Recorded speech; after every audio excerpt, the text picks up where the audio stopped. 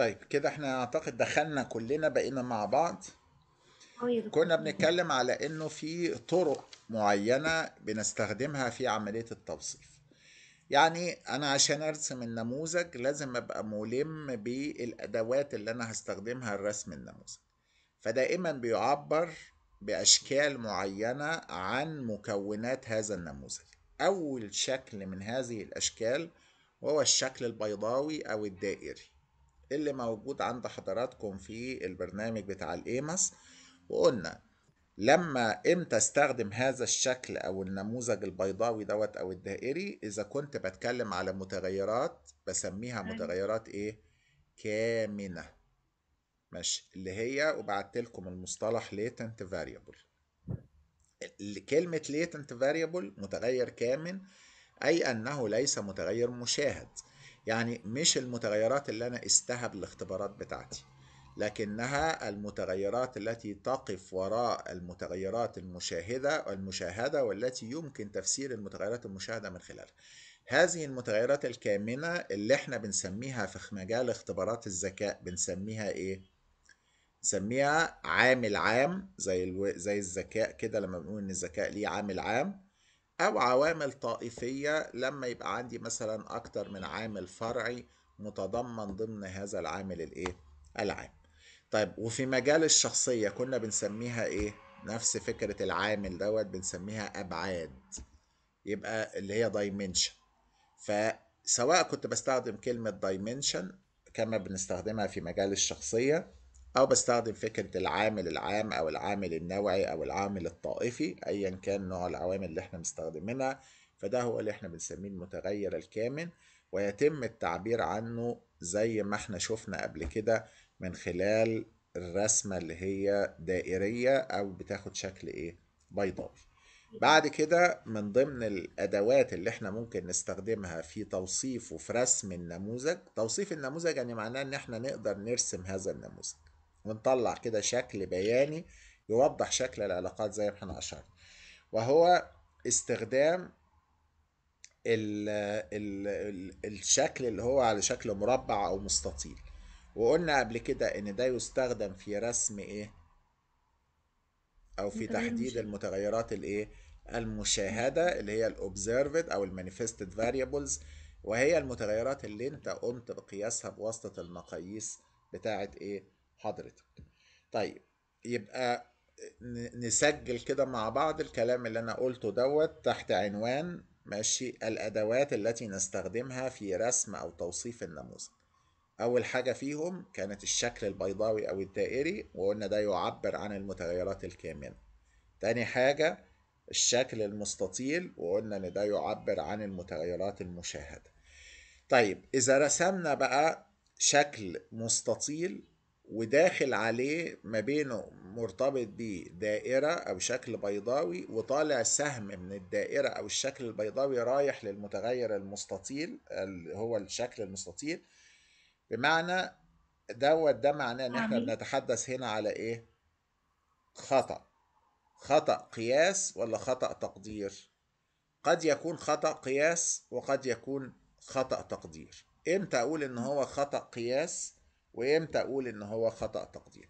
بالمناسبة بس خلينا ن- نك- نسجل بس المصطلح عشان يبقى موجود عند حضراتكم. خطأ القياس ماشي بنسميه measurement error.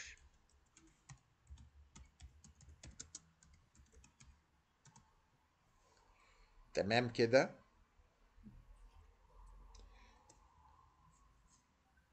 خطأ التقدير هنقول عليه estimation. Estimation error. وأحيانا بيقولوا عليه prediction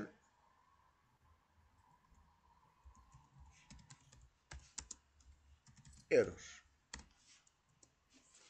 يبقى أنا عندي إما خطأ قياس أو خطأ تقدير. إيه الفرق ما بين خطأ القياس وخطأ التقدير؟ خطأ التقدير بيبقى في تحليل ال- المسار أو تحليل الانحدار.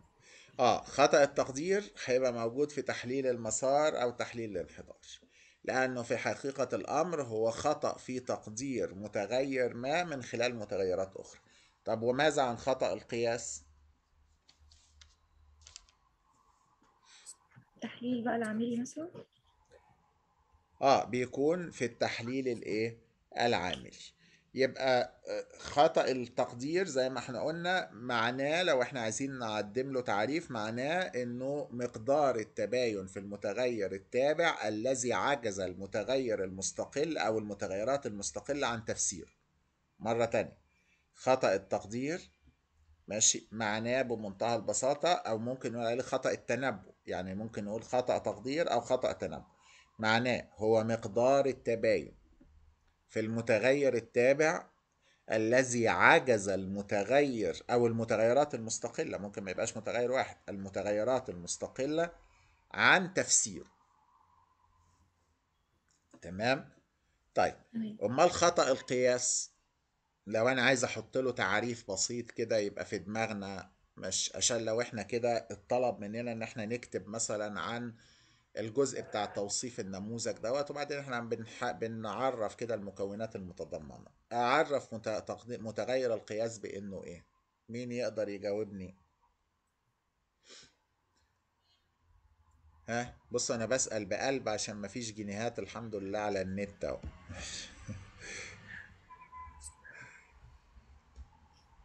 في المحاضرات ال offline الواحد بيتورط في جنيهات. وبالمناسبة شيماء انت ليك عندي جنيه ما خدتوش من المرة اللي فاتت. آه بتاع المرة اللي فاتت آه ما انتش ناسية قلبك اسود قوي يا شيماء. أنا اللي بقول يا دكتور. يا أمان اللي بتقول والله. والله يا أمان اللي بتقول. طيب. أيوه. طيب ده ده بقى إيه يعني؟ ده عشان غيرانة بقى من إن انت هتاخدي جنيه وهي لأ. طيب لو عايزين نعرف مع بعض بقى.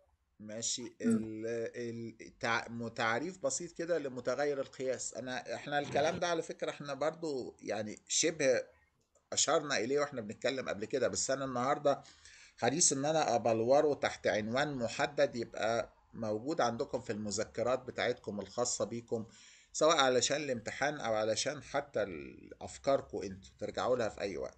لو عايز أعرف كده متغير خطأ القياس أعرفه إيه؟ إحنا عرفنا خطأ التقدير أو خطأ التنبؤ بأنه مقدار التباين في المتغير التابع الذي عجز المتغير أو عجزت المتغيرات المستقلة عن تفسيره. طب عايز أعرف هنا خطأ القياس. أعرفه إزاي؟ حاولوا تستخدموا نفس التعريف دوت في تعريف خطأ القياس. ها؟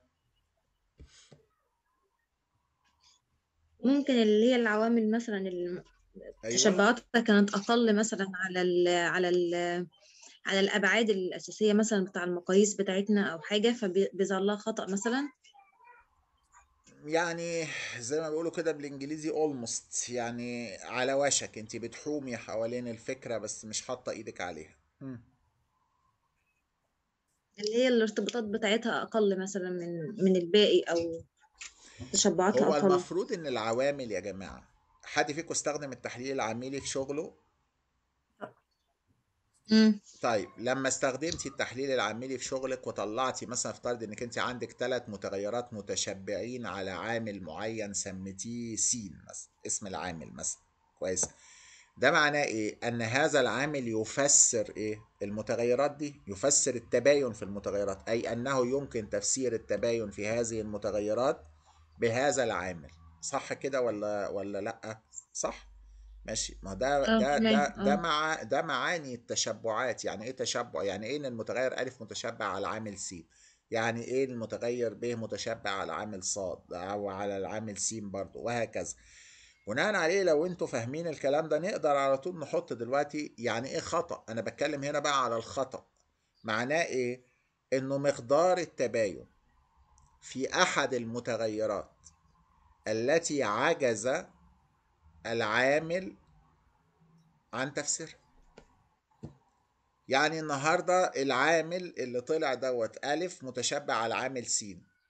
هذا العامل س يفسر التباين في المتغير ألف مثلا بنسبة 80% تمام؟ يبقى معنى كده إن الخطأ كام؟ 20% بمعنى إنه الخطأ ال 20% هو يشير إلى نسبة التباين في هذا المتغير الذي عجز العامل عن تفسيره. مش نقدرش نفسره بهذا العامل ولكن نفسره بأشياء أخرى. الأشياء الأخرى دي اللي هي سموها أو أطلقوا عليها هنا تباين الإيه؟ الخطأ. معايا كده يا جماعة؟ يبقى إذا لو عايزين طيب. نحط تعريف هنا نقول خطأ التبا خطأ القياس يشير إلى مقدار التباين في المتغير في متغير ما يعني مع أنا ليه بقول متغير ما لأن عندي عدد كبير من المتغيرات اللي هي تشبعت على العوامل في أحد المتغيرات أو في متغير ما الذي عجز العامل عن تفسيره في هذا الإيه؟ المتغير. طيب بعد كده من ضمن الأدوات اللي أنتوا بتستخدموها واللي اد- برضو اتدربنا عليها عملي وهي السهم ذو الرأس الواحد. السهم اللي هو ليه رأس واحد. واللي دايما حضراتكم بتستخدموه تست... يتم استخدام هذا الزمن هذا السهم حيث يتوجه من السبب للنتيجة ولا من النتيجة للسبب؟ السبب للنتيجة. من السبب إلى النتيجة. يبقى نكتب عندنا السهم الذي يتجه من السبب إلى النتيجة. هذا السهم اللي هو ليه راس واحد. ماشي. هذا السهم يشير إلى أول نوع من العلاقات التي تربط ما بين المتغيرات المشاهدة والكامنة أو المتغيرات المشاهدة وبعضها البعض أو الكامنة وبعضها البعض. هذا السهم الذي يشير إلى أول شكل من أنواع العلاقات بين المتغيرات المشاهدة والكامنة أو بين المشاهدة وبعضها لأن ممكن السهم ده يبقى بين متغيرين مشاهدين أو أيضا بين المتغيرات الكامنة. ممكن هذا السهم يكون ما بين متغيرين إيه كامنين طب السهم دوت بيعرفوه. السهم دوت بيعرفوه على إنه يشير إلى علاقة أحادية الاتجاه أنتوا بتسجلوا معايا ولا مش بتسجلوا يا هذا. السهم يشير إلى علاقة أحادية الاتجاه. طب علاقة أحادية الاتجاه دي تحتاج إن إحنا نحط المصطلح بتاعها. يقولوا عليه إيه بقى؟ يوني directional recursive relationship.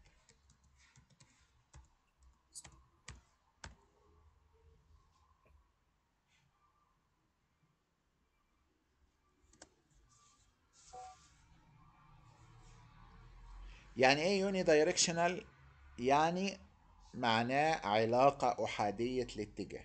هي كلمة recursive أساسا معناها إنها فيها ارتدادية. يعني مش و non-recursive يعني غير ارتدادي يعني هيبقى في الاتجاهين زي ما إحنا هنشوف. طيب يبقى أول نوع من العلاقات اللي بنسميها ال unidirectional recursive relationship أو بالعربي نقول عليها العلاقة أحادية الاتجاه ويتم التعبير عنها بواسطة السهم ذو الرأس الواحدة الذي يتجه من السبب إلى النتيجة أقول الكلام ده تاني لو أنتوا ما كتبتهوش هو أول طيب. نوع من العلاقات بتسمى unidirectional recursive relationship أو بالعربي العلاقة أحادية الاتجاه ويتم التعبير عنها بواسطة السهم ذو الرأس الواحدة الذي يتجه من السبب إلى النتيجة. طب تاني شكل من العلاقات وهي ما يسمى بالعلاقات ثنائية الاتجاه. تاني شكل عندنا بيسمى العلاقات ثنائية الاتجاه. نفس المصطلح بتاع recursive دوت بس بدل ما هخليها recursive هخليها non-recursive نون إن أو إن ريكيرسيف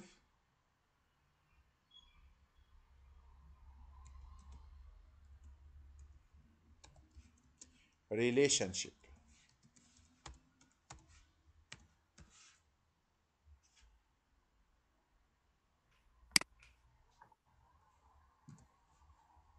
معلش باخد وقت بس شوية قبل لما بكتبها لكم كده. ساعات بلاقي في الحروف حاجة غلط فبرجع أصحح.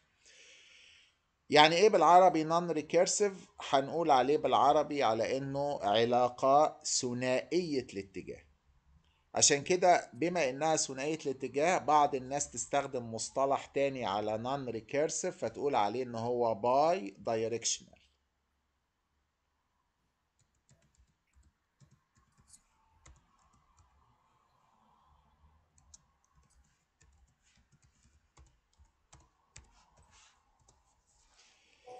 bidirectional برضو يعني علاقة ثنائية الاتجاه. دايما كلمة bi لما تيجي في أول كلمة يعني معناها كده إن هي حاجة ليها اتجاهين أو حاجة ثنائية. عكس unidirectional اللي إحنا اتكلمنا عنها من شوية اللي هي علاقة أحادية الاتجاه. طيب كيف يتم التعبير عن هذه العلاقة بيانيا؟ بنرسمها إزاي في الرسم بتاعنا؟ بنرسمها من خلال سهمين. كل سهم فيهم ليه راس واحدة بس واحد فيهم طالع افرض مثلا عندي المتغيرين ألف وب يقوم نعمل إيه؟ نعمل ما بينهم سهمين. سهم كل سهم فيهم ليه راس واحدة واحد فيهم متجه من ألف إلى ب والتاني متجه من ب إلى إيه؟ إلى ألف ده معناه إيه؟ ده معناه أنه كل متغير يؤثر ويتأثر بالمتغير الآخر. يبقى شكل العلاقة دي اوعوا تتلخبطوا ما بين اللي أنا بقوله ده واللي هنقوله بعد شوية عن السهم أبو راسين لو أنتوا تفتكروا اللي هو بيبقى منحني مم. شوية دوت وليه راسين مش راس واحد. لا مش ده اللي أقصده. أنا قصدي هنا إن أنا عندي متغيرين ثم رسمت ما بينهم متغير ها- سهمين سهم وكل سهم فيهم ليه راس واحدة واحد فيهم متجه من ألف إلى ب والتاني متجه من ب إلى ألف يقوموا يقولوا على ده هنا أن العلاقة بين ألف وب هي علاقة ثنائية الاتجاه. بمعنى أن المتغ... كل متغير من المتغيرين يؤثر ويتأثر بالمتغير الآخر. ماشي؟ تمام؟ بالمناسبة السهم أبو راس واحد ده بنسميه one side arrow بعت لكم one side arrow يعني سهم ليه راس واحد. ماشي.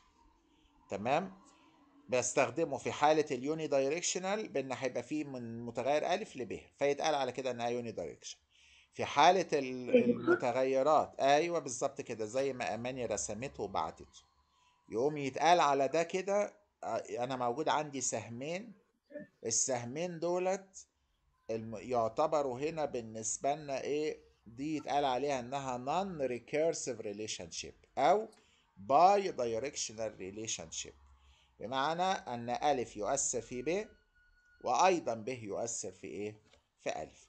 الحقيقة استخدام هذه العلاقة نادرة في البحوث.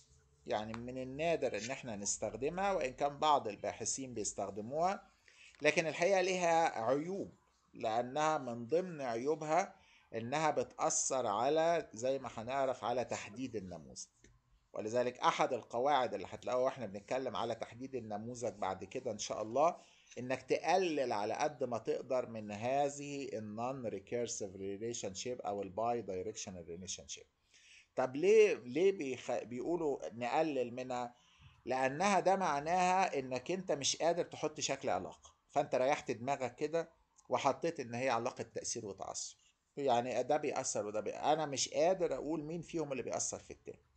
كل ما النموذج بيبقى أقوى كل ما بيبقى محدد أكتر. كل ما بيبقى محدد أكتر يعني معنى كده انه واضح قوي شكل العلاقات وهيتم التعبير عنها بشكل إيه؟ مبسط. الشكل الثالث من العلاقات اللي بيبقى موجود وهو استخدام اللي إحنا بنسميه ال two side arrow اللي هو السهم اللي ليه راسين. نكتب بس المصطلح الأول.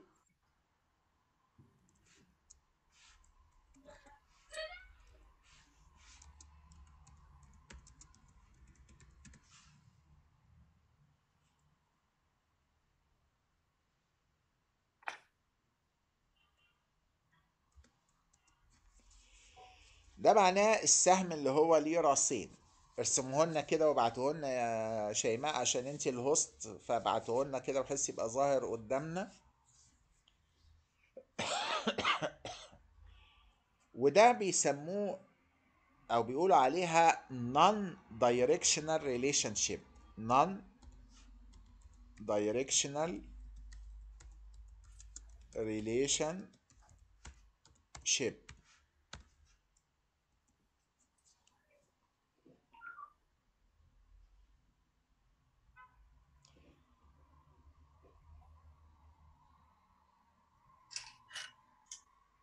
آه بس خليه بقى مقوس. يعني ما تخليهوش مستقيم بالمنظر ده. خليه يربط ما بين ألف وب بشكل كأنه قوس. هذا القوس ليه راسين اللي إحنا بنسميه two sided arrow أو سهم. ليه راسين أو بنقول عليه non-directional relationship طب هذه ال non-directional relationship بيقولوا إن هي تشير إلى ال covariance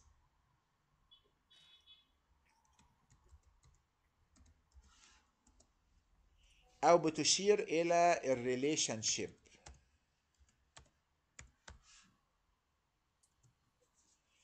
ما بين المتغيرات. يعني أنها آه تمام زي ما أماني بعتته كده بس خليه بس يبقى السهم من فوق. خلاص يعني ما تتعبيش نفسك بس بنخليه من فوق يبقى الشكل أفضل بس في symmetry طيب ده يشير إلى ال covariance الناس بقى الشطار زي حضراتكم اللي بقوا عارفين العلاقة اللي ما بين ال variance وال covariance وال relationship أو ال correlation يعني ماشي correlation مش هيبقوا مستغربين لما أقول إن. السهم ده يعبر عن ال correlation أو يعبر عن ال covariance ما أعتقدش إنكم هتبقوا مستغربين لما أقول الجملة دي لأنكم عرفتوا إيه العلاقة اللي ما بين ال covariance وال correlation ماشي؟ يبقى أقدر أقول إن السهم ده نقدر نقول إن هو بيشير إلى ال covariance اللي هو among أو between two independent variables. كأن السهم ده بيشير إلى التغاير ما بين متغيرين مستقلين. أو ما بين متغيرين وخلاص نقدر نقول ما بين متغيرين. أو يشير إلى الارتباط أو الكوريليشن ما بين المتغيرات. إذا مهم قوي عندي إنكم تسجلوا الجملة اللي هقولها دي. هذا السهم لا يعني أن أحدهما سببا في الآخر ولكن يعني أن بينهما ارتباط. وأرجو أنكم تنتبهوا لدي لأن بعض الناس بتفسر غلط السهم أبو راسين ده على إنه معناه إنه زيه زي فكرة ال non-recursive أو ال bi-direction بمعنى أن ألف يؤثر في ب وب يؤثر. لا غلط. هذا السهم ال- اللي هو ليه راسين ده معناه أن هناك ارتباط بين المتغير ألف والمتغير ب. طب عايز أعمل بقى إن في تأثير متبادل ما بين الاتنين نرجع تاني بقى للشكل دوت اللي هو بشاور عليه دلوقتي ليكم لا أنتوا مش شايف اللي هو موجود عندنا إن ألف طالع منه سهم احادي الرأس رايح لب وسهم طالع من ب رايح لمين؟ لألف. طيب عشان بس ما انتهش لأن التلات أنواع من العلاقات دولت لازم يبقوا واضحين في ذهننا.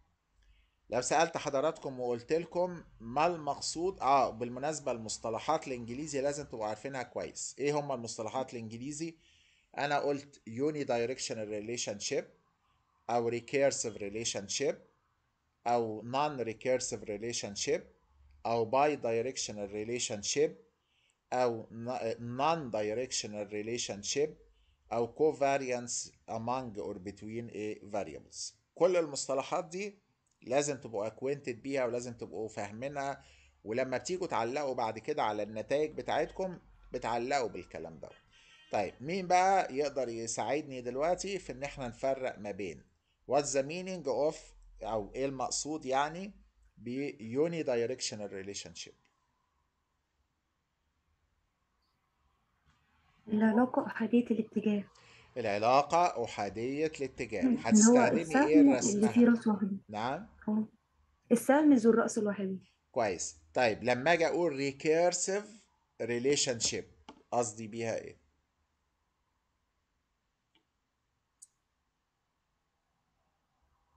هي هي صح؟ هي هي برافو. مم. ماشي.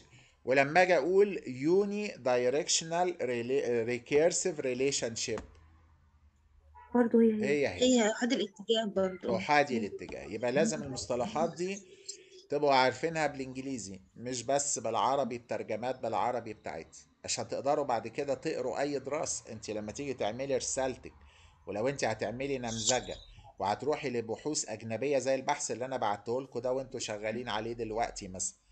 لازم هو مش هيستخدم أحادي الاتجاه ولا لا، هو هيستخدم المصطلحات اللي أنا بقول لكم عليها ديت. ماشي؟ طيب. لما أجي أقول non recursive relationship يعني معناها إيه؟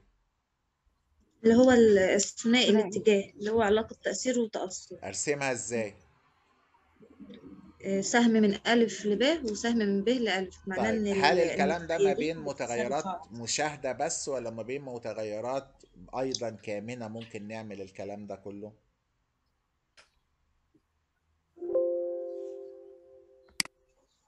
أعتقد ممكن أيوه برضه. المشاهد أو الكامل. لا هو في ال non-recursive في الغالب بنعملها مع المتغيرات المشاهدة أما ال unidirectional فممكن تتعمل مع المشاهد أو الإيه أو الكامن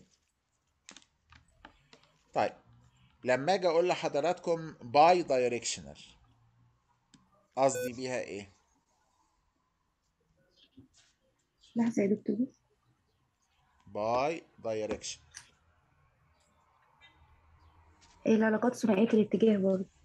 اللي هي هعبر عنها إزاي؟ سهمين من ألف لب وسهم ألف من لب. من ب ل- لألف تاني. من كويس. طب لما أجي أقول إنه أنا عندي non-directional يبقى قصدي بيها إيه؟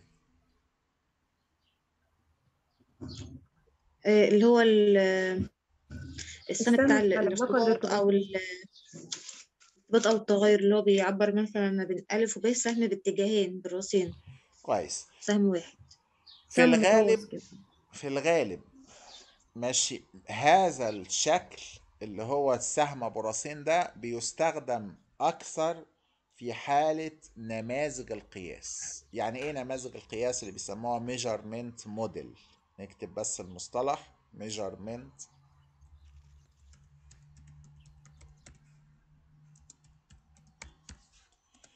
إيه المقصود هنا بنماذج القياس اللي هو التحليل العملي؟ يبقى أنتوا دايما لما أكلمكم على إنه ده نموذج قياس يبقى ده معناه إن الراجل ده عامل إيه؟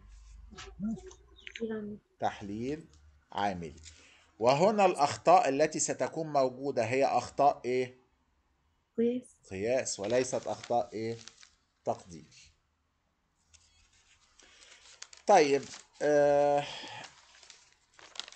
عندي سؤال يا دكتور معلش دكتور اتفضل. الحتة الأخيرة دي عشان في نماذج القياس غالبا بنستخدمها في حالة نماذج القياس وهنا نتحدث عن آه، أخطاء قياس وليس أخطاء إيه يعني الأخطاء اللي هتبقى موجودة قصدي في النموذج ده هيبقى في الحالة دي اسمها أخطاء قياس وليس أخطاء إيه تقدير آه، كان في حد بيقول أنا عندي سؤال ولا أنا أيوة اللي. اتلخبطت؟ آه آه آه آه يا دكتور حضرتك إحنا تقصد يا دكتور اللي هو العلاقة الشكل الثالث من العلاقات ده اللي بيستخدم في في نماذج القياس؟ آه بيظهر في نماذج القياس اللي هي يعني إيه نماذج قياس اللي هو الباحث عمل تحليل إيه؟ عاملي توكيدي.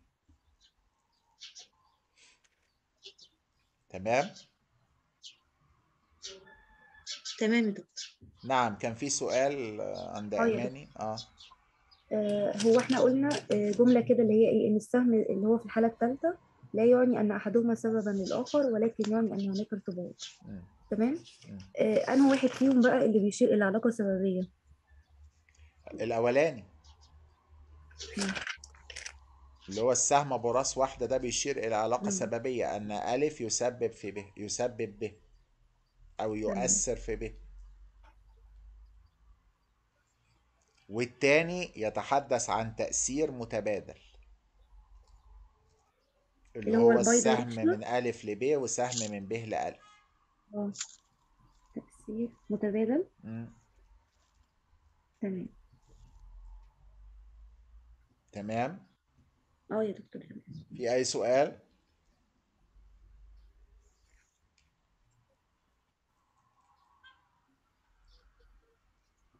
طب يا دكتور معلش. بالنسبة للأدوات اللي بنستخدمها في رسم النموذج أو توصيف النموذج إحنا قلنا أول حاجة الشكل البيضاوي أو الدائري تاني تمام. حاجة الشكل المربع أو المستطيل. تمام. رابع حاجة الأسهم تالت حاجة بقى كانت أخطاء القياس صح؟ آه أخطاء القياس. واللي إحنا يعني دي قلنا إن نقطة؟ بنعبر عنها س- آه بنعبر عنها أخطاء القي... الأخطاء. خليني أقول الأخطاء بشكل عام. تمام. واللي بنعبر سواء قياس عنها أو تقدير بش... بتعريفاتها صح آه. ما هي ممكن تبقى تقدير وممكن تبقى إيه قياس. بنعبر عنها لا بشكل بيضاوي متجه منه سهم إلى ال... ال... ال- المتغير. آه آه، طبعا آه، لو إنكم لقيتوا سهم وده سؤال بقى اللي اللي هيجاوب عليه يبقى ليه عندي جاي ليه عندي جنيه إن شاء الله. آه، لو إني أنا جيت كده رحت راسم مربع المربع يعبر عن متغير إيه؟ مشاهد. مشاهد. شاهد وهذا المتغير المشاهد داخله من مربع من خطأ عندي خطأ هرسمه في شكل دايرة كده وطالع من الخطأ سهم على المتغير الإيه؟ ال- المشاهد ده. هذا الخطأ خطأ قياس ولا تقدير؟ ونفس السؤال تاني. لو إنه أنا رحت راسم دلوقتي متغير آه، آه، كامن على شكل دائرة كده وجاي له سهم من دايرة صغيرة كده بتشير إلى الخطأ حد بس يرسمه كده وي- ويبعت لي الشكلين دولت علشان أسمع تعليقكم عليهم وممكن نختم بدوت النهاردة إن شاء الله يعني. تمام؟ آه، حد بس يرسمهم لي ويبعتهم لي. الأول أنا عندي آه، دايرة كده طالع منها سهم رايح لمربع. المربع ده هسميه ألف كأنه متغير ألف مثلا. والدايرة دي هقول إنها مثلا ايرور 1 أو خطأ واحد. وعندي ال- الشكل التاني آه، شكل بيضاوي جاي له برضو من دايرة خطأ. وهسمي الشكل البيضاوي ده مثلا العامل س والخطأ هسميه خطأ مثلا إيه؟ واحد.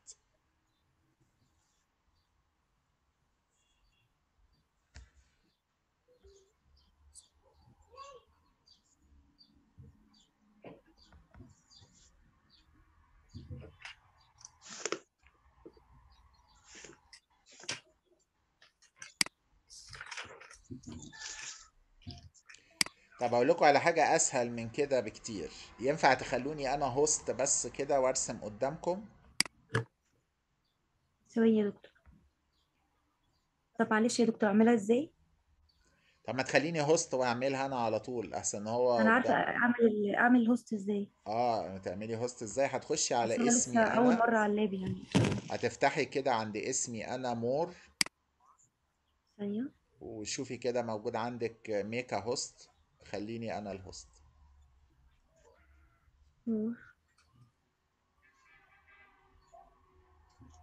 آه يا دكتور إيه؟ طيب آه، تعالوا بقى كده إيه ن share عندي ال- ال screen بتاعي بحيث يبان عندكم ال- البتاع. share أهو. ظهر كده بالنسبة لكم البرنامج الايماس بتاعي. آه يا دكتور طيب تمام اللي أنا أقصده إيه؟ أنا جيت هنا دلوقتي أهو.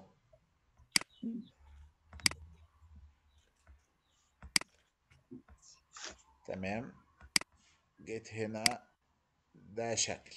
وهنيجي مثلا إيه نعمل واحد تاني بالمنظر دوت. بس طبعا خلي بالكم إن ده جزء من إيه من من نموذج مش النموذج. ورحت عامل إيه هنا بالمنظر ده.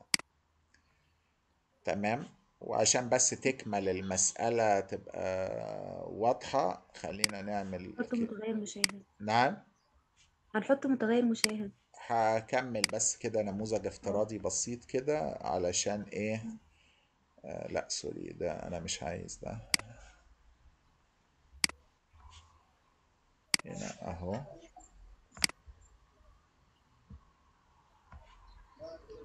بعدين نيجي مثلا نحط كده كده كده كده كده.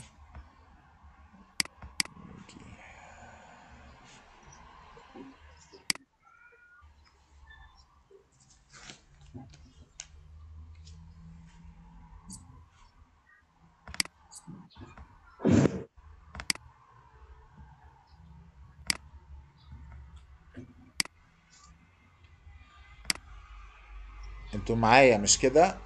آه أنا مش ساكت آه يا أنا دكتور برسم يعني فأنتوا المفروض تبقوا متابعيني يعني. باين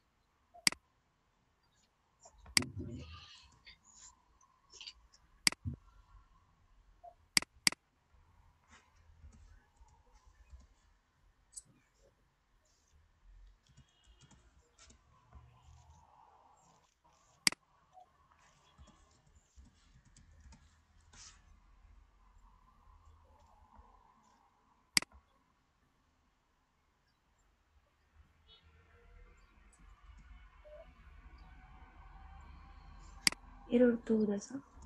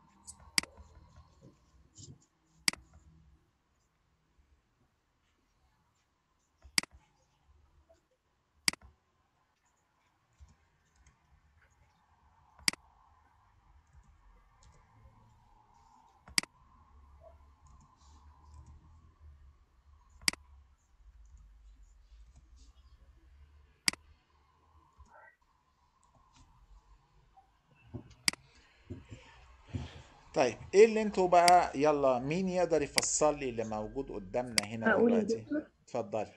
نبدأ اولا بالشكل آه الأولاني ده إيه بالظبط؟ النموذج النموذج الأول آه، غالبا هيبقى تحليل مسار. آه ده تحليل مسار ولا تحليل انحدار بسيط؟ أو تحليل آه لا تحليل انحدار ده آه انحدار. ده تحليل انحدار بسيط آه كمان آه. مش مش مو يبقى مش الأخطاء مش هنا الاي 1 regression. خطأ. آه ما آه. عنديش إلا متغير مستقل واحد اللي هو A بيأثر في مم. المتغير A B. بي اللي هو بي آه فالخطأ وهنا هنا يبقى خطأ الخطأ تقدير اللي هنا ده اسمه خطأ إيه تقدير. تقدير. خطأ تقدير. ماشي؟ مم. طيب. تعالوا نروح هنا للنموذج التاني. إيه المعنى النموذج اللي موجود قدامنا تحليل عملي. الجزء اللي وعندي تحت ده تحليل عملي يا دكتور. حلو. آه. الباحث ده دخل بكم متغير؟ اتنين عوامل و عاملين؟ عاملين عندي في عاملين. وهو أصلا داخل الأول متغير مشاهد. كده آه، خمسة. خمسة م- خمسة متغيرات مشاهدة طيب ماشي.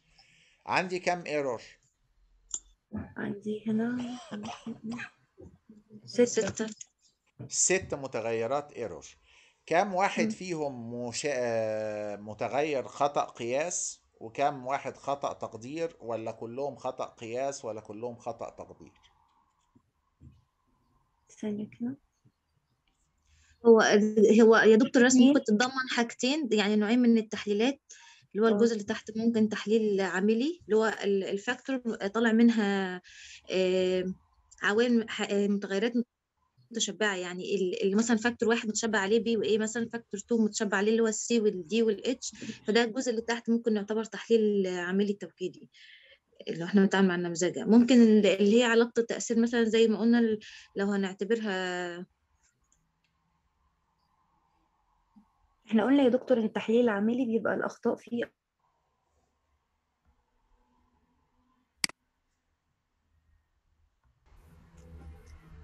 طيب تمام. نكمل كلامنا. كنت كنا بنقول طيب الشكل ده أنا عندي فيه كام error موجود؟ قلنا فيه ست error اللي هو الشكل التاني دوت. هل كلهم أخطاء قياس؟ ولا كلهم أخطاء تقدير؟ ولا فيهم أخطاء قياس وأخطاء تقدير؟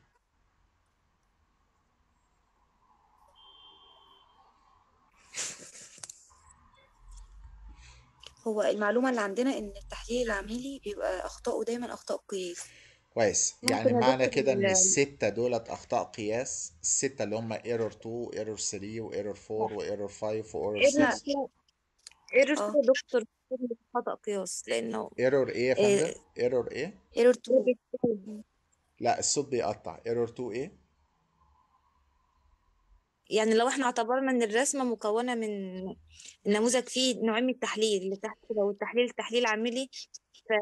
ف error ثلاثة وأربعة وخمسة وستة وسبعة دول القياس. قياس. يبقى إحنا متفقين على إن دولت بما إن ده تحليل عاملي على فكرة إحنا آه. عندنا هنا إحنا قلنا في التحليل العاملي بنتكلم على نموذج قياس. فاكرين الجملة آه. ديت؟ نموذج قياس. طب أنا تمام عندي هنا كام نموذج قياس؟ عندي اتنين. عندي نموذجين قياس. النموذج الأولاني اللي هم العوامل المت- المتغيرات المتشبعة على العامل الأول ده يعتبر كده كأنه نموذج نموذج قياس. ماشي. آه وفي نموذج قياس تاني اللي هم ثلاث متغيرات سي ودي واتش متشبعين على الإيه؟ على العامل الثاني. يبقى أنا هنا عندي كام نموذج قياس؟ إحنا اتفقنا خلاص إن ده تحليل عاملي توكيدي. بيضم كام. نموذج قياس؟ نموذجين. النموذج الأولاني الخاص بالعامل الأول والنموذج الثاني الخاص بالعامل الإيه؟ التاني. طيب التاني نروح بقى للسهم أبو راس اللي رايح من factor 1 ل factor 2 إيه حكايته ده. مم. ونتج عن دوت إن بقى في error ما تنسوش أنا قلت لكم أي حاجة داخل عليها سهم لازم يبقى لها error أي متغير داخل عليه سهم لازم يبقى له error بس نق- نقعد بقى نفكر ال error دي error تقدير ولا error قياس؟ هنا في الحالة اللي زي عشان كده في المتغيرات المشاهدة اللي تحت لأن كلها داخل عليها سهم فاتعمل لها error ماشي. factor 1 ملوش error ليه؟ لأن مفيش سهم داخل عليه. الكلام ده إحنا كنا قلناه قبل كده لما فرقنا ما بين ما أسميناه بال exogenous variables وال endogenous variables إيه هنا يعتبر exogenous variable ثانية.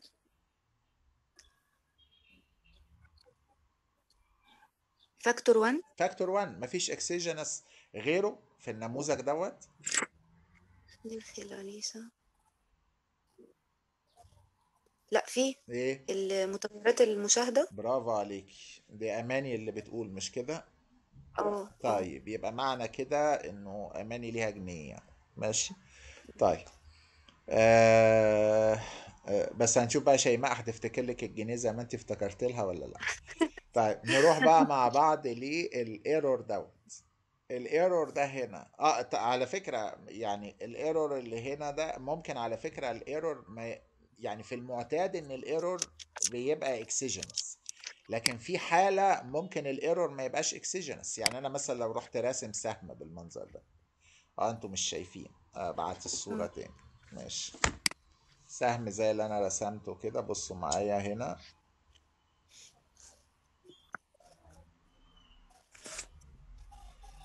بصوا كده للشكل شايفين في سهم كده اتعمل ما بين 4 و 3 error 4 و error إيه 3 مظبوط؟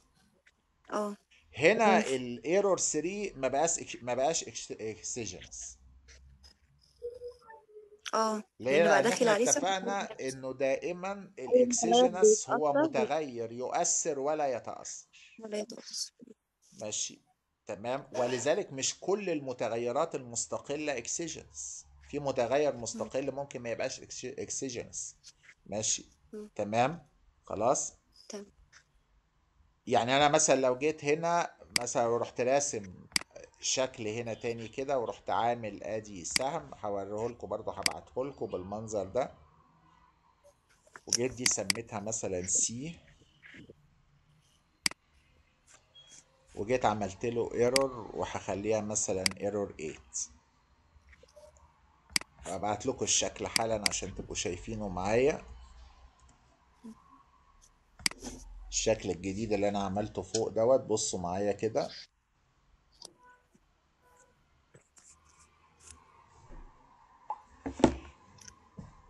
وصل؟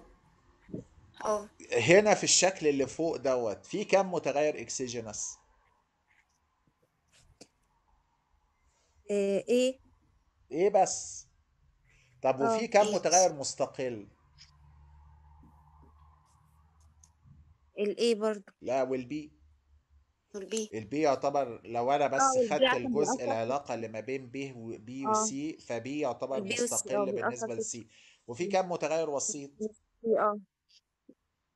البي البي وسيط. البي البي هنا هو أيضا متغير وسيط حيث انه يقف بين العلاقة ما بين A وما بين C. تمام؟ اذا ليس آه. كل متغير مستقل exogenous لكن كل متغير exogenous هو متغير مستقل ولكن العكس غير صحيح. ممكن يبقى فيه متغير مستقل لكنه مش exo... مش exogenous لأنه زي ما هو بيأثر هو كمان إيه؟ بيتأثر. تعالوا بقى معايا هنا دلوقتي نروح للشكل التاني مرة تانية. تمام؟ خلاص؟ مم. إيه اللي موجود عندي دلوقتي؟ ال E اللي هي رقم اتنين دي. دي. اي قياس خطأ قياس ولا خطأ تقدير؟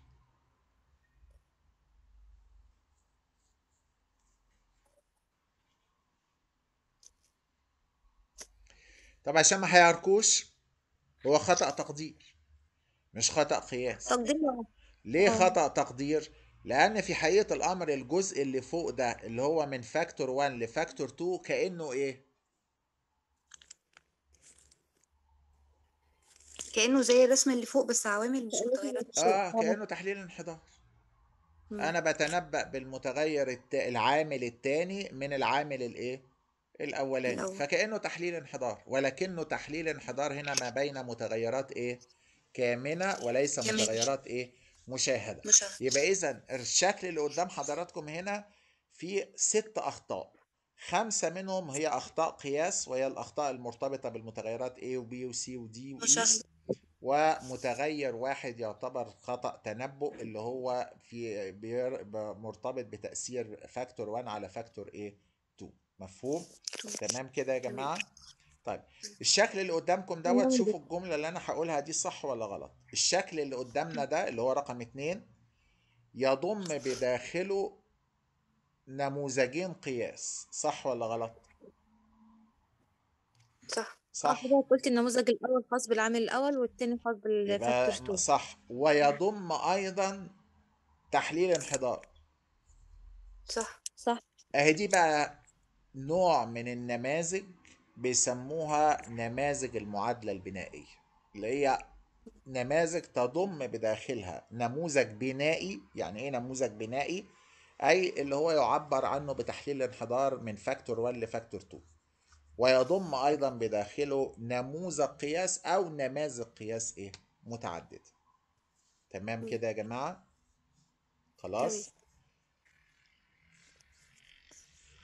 هنا بالمناسبة يعني الشيء بالشيء يذكر قبل ما انسى عشان ما انساش أقولها لكم بعد كده. هنا لما عملت ال e م- سهم من e 4 ل e 3 عارفين ده معناه إيه؟ ده معناه حاجة من الاتنين.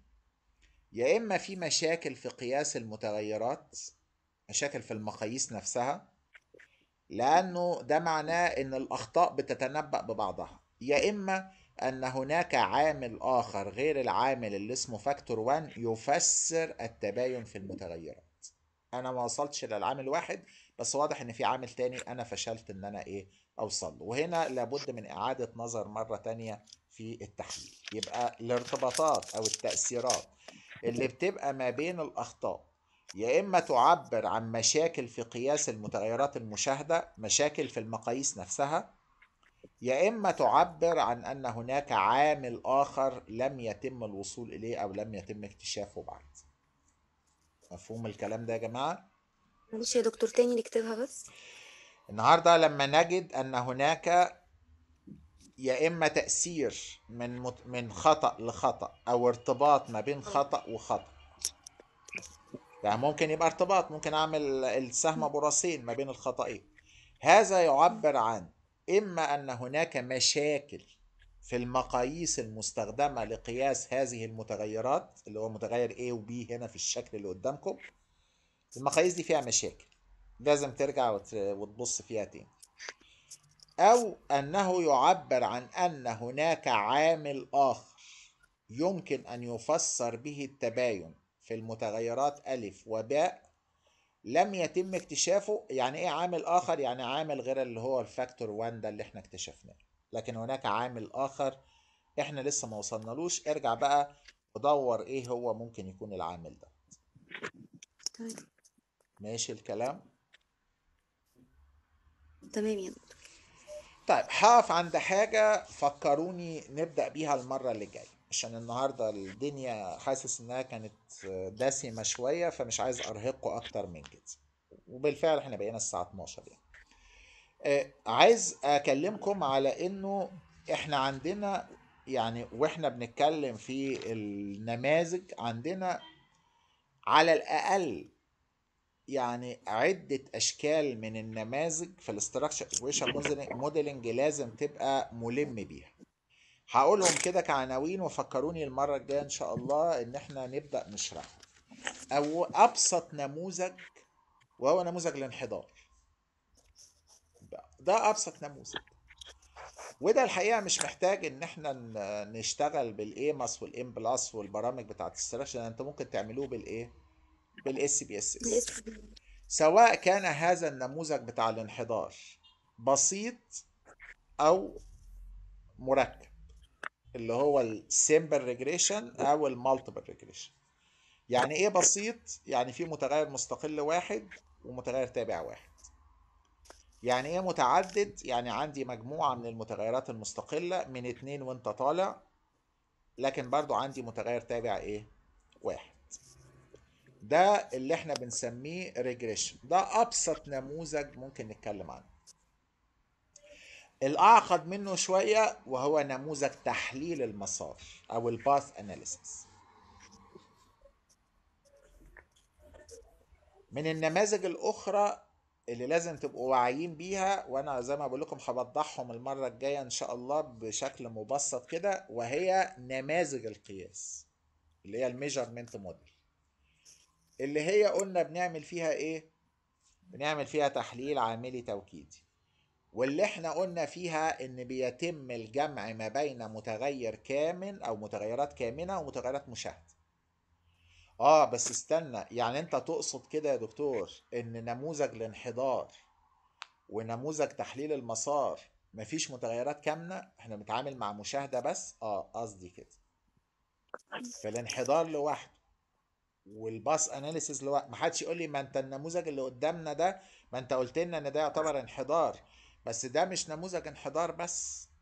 ده ده زي ما قلت لكم نوع من النماذج اللي بنسميه نماذج المعادلة البنائية المركبة دي اللي بتضم جواها نماذج قياس ونماذج إيه؟ بنائية. لكن لو خدته لوحده كده مش هيبقى مش هينفع. لأنه لازم أصلا العوامل ديت تبقى يتم استخراجها من متغيرات إيه؟ مشاهدة.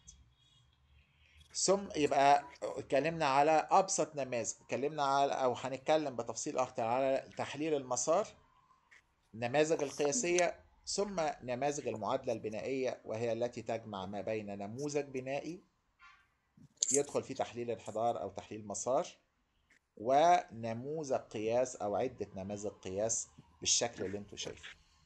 تمام؟ الشكل الأولاني خالص اللي أنا بعته لكم اللي فيه ألف بيأثر في ب ده تحليل انحدار. الشكل التاني اللي بعت لكم اللي دخلنا فيه المتغير سي ده أصبح تحليل مسار لأن بي وسيط ما بين A و C. الشكل التالت اللي أنا ممكن مثلا آجي لو أنا مثلا جيت هنا ورحت شايل ده كده.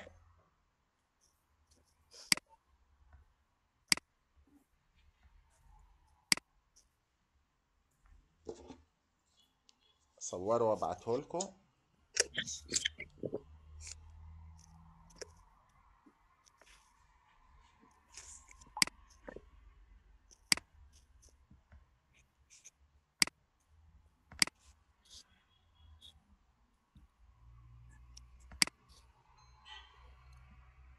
في واحد تاني اهو هصوره برضو وابعته لكم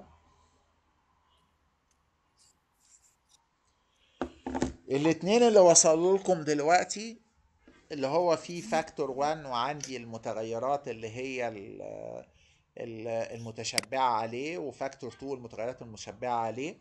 والشكل التاني اللي أنا عملت سهم براسين ما بين ألف وب دولت اسمهم الاتنين اسمهم نماذج قياس. اوعى تقولي إن ده نموذج معادلة بنائية. دي نماذج قياس. ليه بقى؟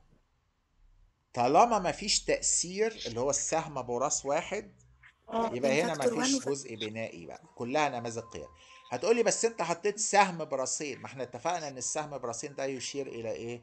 ارتباط ما بين المتغيرين. طب افرض إني أنا المتغيرين دولت مستقلين ال factor عفوا ال factor الأولاني وال factor الثاني مستقلين. حلو الكلام؟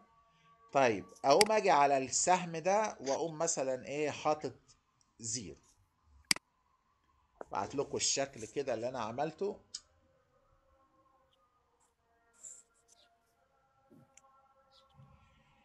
عارفين معنى إن أنا حطيت زيرو؟ يعني هي هي زي الشكل اللي هو قبل ال- الأخير اللي هو ما كانش فيه سهم أصلا. لأن ده معناه إن آه. أنا بقول إن المتغيرين دول مست... العاملين دول مستقلين. يعني إيه مستقلين؟ يعني ارتباطهم يساوي كام؟ صفر. مفيش ارتباط ما بينهم. كل دي اسمها نماذج قياس. أمال الشكل الرابع بقى بالنسبة لنا اللي هو فيه نموذج آه، بتاع ده ب- آه، آه، معادلة بنائية اللي هو فيه سهم رايح من ألف من ال factor 1 ل factor 2 وبقى فيه خطأ عند factor 2 الخطأ هنا يعتبر خطأ إيه؟ تقدير وليس خطأ إيه؟ قياس. ن save الملف دوت آه، هسيبه بس قبل ما انسى ثانية واحدة بس. واسيبه عندي هسيبه حتى بأساميكم شيماء وأماني. علشان المرة الجاية ما نقعدش نضيع وقت في الرسم ده وأنا بشرح الأربع نماذج دول تاني.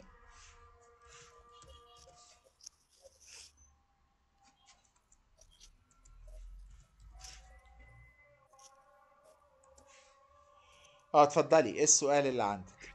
آه، نموذج المعادلة البنائية يا دكتور اللي هو فيه سهم من factor 1 ل factor 2 أيوه. ده بقى بيتكون من نموذج بنائي ونماذج قياس. آه النموذج البنائي بين هو إيه؟ نموذج بنائي اللي هو كأنه هنا تحليل انحدار؟ آه. اصل ممكن يبقى تحليل مسار 1 برضو. ل factor طب ما تحليل مسار آه. إزاي؟ هضيف عامل راء تالت. بيبقى ب... factor 2 عامل وسيط. وال factor 2 هيبقى عامل وسيط ما بينهم. تمام. بس هنا هو تحليل انحدار. النموذج البنائي تحليل انحدار. آه بيشير إلى تحليل انحدار بسيط حتى. ماشي. آه وممكن أخليه يشير إلى تحليل انحدار معقد مركب بإني أعمل factor 2 وأخلي كأنه factor 1 و factor 2 يتنبأوا ب factor 3 كأن يطلع سهم من factor 1 ل factor 3 وسهم من factor 2 ل factor إيه 3 كأن هنا أصبح مم. عندي إيه؟ عاملين يتنبأوا بعامل. مم. ماشي. آه، من هنا يعني بقى 2 لما نلتقي 3 الأسبوع الجاي اقعدوا بقى أعملوا 1 لي أشكال بالمنظر دوت و- وعشان تعرضوها عليا وتقعدوا تقولوا لي ده نموذج كذا وده نموذج كذا وده نموذج كذا. ماشي؟ تمام. ماشي طيب. آه، أعتقد آه، كفاية كده النهاردة عشان ما أثقلش عليكم أكتر من كده. هتفكروني بس المرة القادمة إن شاء الله إذا كان ليا عمر إن أنا هبدأ بتوضيح تاني إيه النماذج الأربعة دولت. ماشي الأساسيين اللي لازم تبقوا فاهمينهم تمام؟ وهننطلق بعد كده نتكلم على تحديد النموذج. مش إزاي نبدأ إن إحنا نعمل ال- اللي إحنا أسميناه ال model identification إحنا النهارده اتكلمنا على ال model specification وهنختم بس المرة الجاية بجزء عن آه، أشهر أو أهم أنواع النماذج اللي أنتوا لازم تبقوا اكوينتد بيها أو ملمين بيها. في أي سؤال عند حضراتكم؟ لا يا دكتور تمام كده. طيب.